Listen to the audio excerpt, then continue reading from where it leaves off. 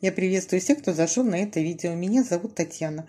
Многие из вас, наверное, уже определились с выбором семян.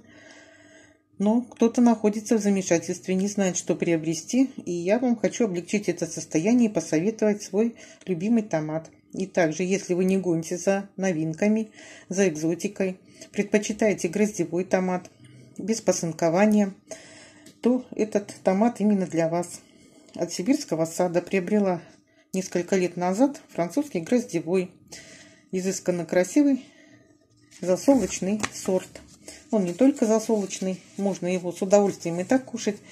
Сейчас я вам покажу в дальнейшем свои фотографии по ходу действия и расскажу немного о нем. Что, как сумею, так уж и расскажу. Сорт этот считается детерминантным, высотой в открытом грунте до 1 метра, защищенным до полутора метров. Но что хочу сказать то, что мои впечатления о выращивании и сами потом увидите разнятся с тем, что здесь написано.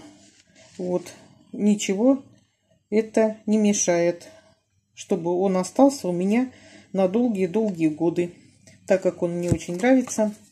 Вот, и по вкусу, и по урожайности, и уходит от фитофторы. В общем, можно сказать, ничем не болеет, даже вершинка его не берет. В общем, все, сейчас по порядочку я вам покажу и расскажу. Хорошо? Всем приятного просмотра. Уже в зеленом виде они прекрасно, не правда ли? Я выращивала и два корня в одну лунку, и вела и в три, и в четыре ствола. В общем, я ему позволяла резвиться, как он хочет, как он пожелает. Стебли у него не очень мощные, не очень толстые такие, листья тоже, так что можно обрезать, оборвать лишнее. Растет гроздями по 6-10 штук.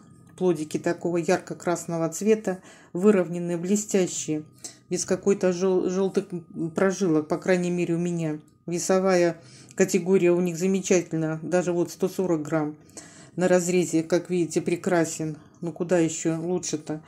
Засолки в консервации просто так поесть. И Многие говорят, что пресен. Ничего подобного. Никакой преснятины в нем нет.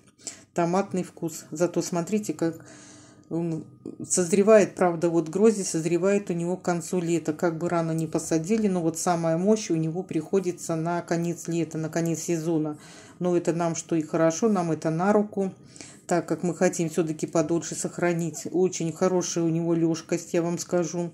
Замечательно хранится этот томат. Этот 19 -го года вот у меня фотографии. Видите, сколько их?